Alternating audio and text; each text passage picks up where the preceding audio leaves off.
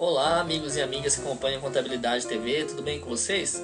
Vamos resolver outra questão do exame de suficiência? Mas antes eu peço que vocês cliquem neste botão vermelho onde estou passando o mouse. Clique aqui e inscreva-se em nosso canal no YouTube, pois só assim você vai ficar sempre por dentro dos novos vídeos que são disponibilizados aí para você. Curta também a nossa página no Facebook, facebook.com.br contabilidade TV. Dá um like lá. E siga no Instagram, instagram.com.br contabilidade TVI ou arroba contabilidade TVI. Vamos ao que interessa, que é resolver a questão. Primeiro exame de suficiência 2016, questão 5. O assunto é DRE, mas fala também sobre ICMS, PIS, COFINS, lucro bruto. É uma questão bem completa para a gente poder estudar e aprimorar nosso conhecimento. Questão 5. Uma sociedade empresária realizou as seguintes transações em janeiro de 2016.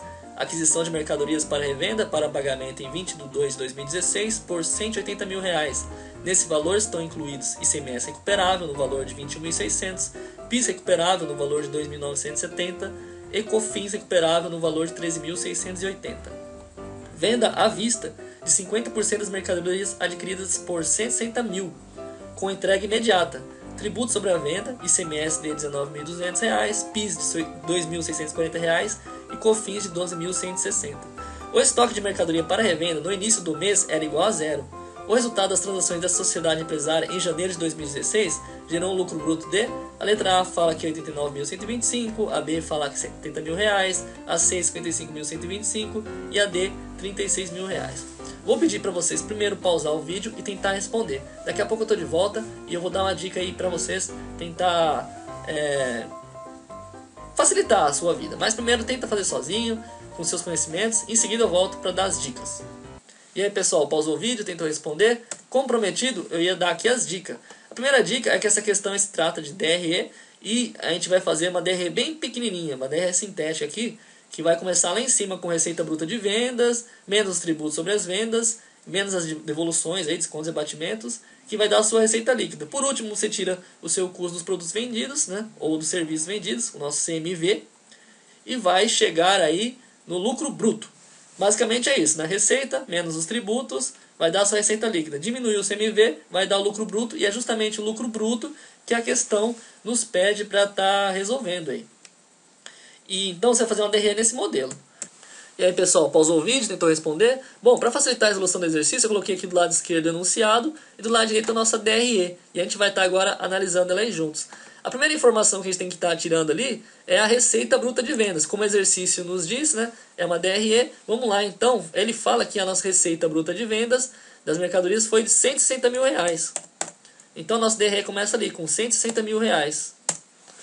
O próprio exercício nos diz, né? Que vendeu 50% das mercadorias por 160 mil reais. Depois, a gente vai estar tá que retirar aqui os tributos sobre as vendas. Como que a gente faz para retirar os tributos sobre as vendas? Eu vou voltar aqui no na questão aqui no enunciado, e vamos ver aqui como a gente vai fazer para tirar os tributos.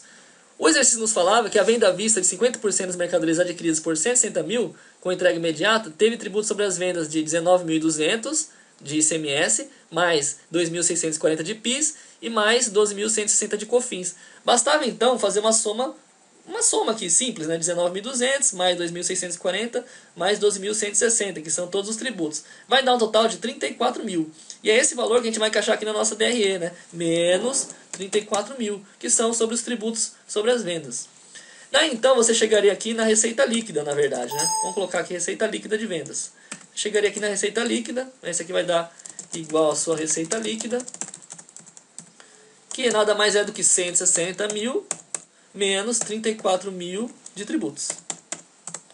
12 mil, 126 mil, perdão, 126 mil. Por último, vamos retirar aqui o CMV. O CMV para você retirar é muito simples. Você vai ter que estar tá usando aquela formulazinha ali do estoque inicial mais compra menos o estoque final. Vamos analisar aqui o custo do nosso CMV. De compras líquidas foram 180 mil reais, como o próprio exercício nos diz, né? Aquisição de mercadorias por 180 mil reais. Então, 180 mil reais a gente comprou, menos 21.600, né, que é referente aí ao ICMS recuperável, menos 2.970, né, que é o valor aí do nosso PIS recuperável, e menos 13.680 do nosso COFINS recuperável. Então, compras líquidas realmente, é, tirando os impostos recuperáveis, você comprou ali R$ 141.750. Né? Então esse vai ser o nosso valor das compras. A gente vai encaixar aqui na nossa fórmula do estoque inicial mais compra menos estoque final. 141.750 é o valor aí das compras. Menos né, 70.875 reais, que é o nosso é, estoque final. E como você chegou nesse estoque final, Léo? Bom, repare comigo aqui, né? Você tinha comprado ali, de compras líquidas, 141.750 reais, certo? E você é, vai ficar apenas com 50% dessas mercadorias, que é o seu estoque final, porque você vendeu 50%, né? Então você tinha um total de mercadorias que você comprou de 140.750, que você comprou, só que você vendeu 50%. Então, metade disso é 70.875, que é o nosso valor aí é, de 50% do que sobrou, né? Então esse vai ser o nosso estoque final. E o estoque inicial vai ser zero, porque ele não fala nenhuma informação aqui no exercício, então é zero. Resumindo então, né? Estoque inicial vai ser zero, porque o exercício nos fala, não fala quanto que tinha de estoque inicial, então é zero subentende-se que é zero. As compras foram líquidas, né, tirando os impostos, 141.750. E o estoque final foi 70.875, que é a metade das compras, porque só sobrou metade que você vendeu, é, metade do que você comprou. Sendo assim, 140.750 que você comprou ali de mercadorias líquidas, né, tirando os impostos menos a metade que sobrou no estoque, vai sobrar então exatamente R$ 70.875. Esse aqui é o seu CMV. E esse custo da mercadoria vendida que você vai encaixar aqui no CMV, menos 70.875. Daí então, agora é uma operação muito simples para chegar no lucro bruto. Basta pegar aqui a receita líquida de 126 mil, menos 70.875 do nosso CMV, vai chegar no valor de R$ 55.125. Portanto, aí gabarito letra C de contabilidade, C de Corinthians. Isso aí, galera, C de Corinthians, de Coringão.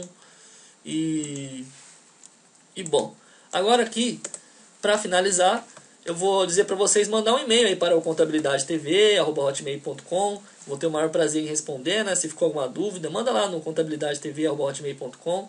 Vai ser um prazer mesmo aí responder.